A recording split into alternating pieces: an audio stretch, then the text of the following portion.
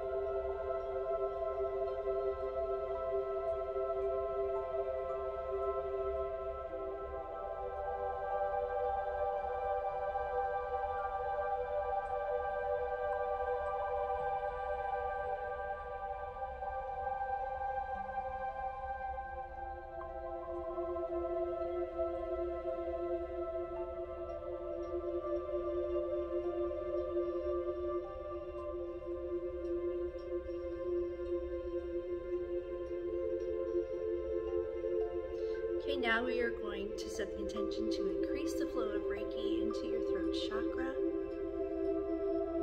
And with this is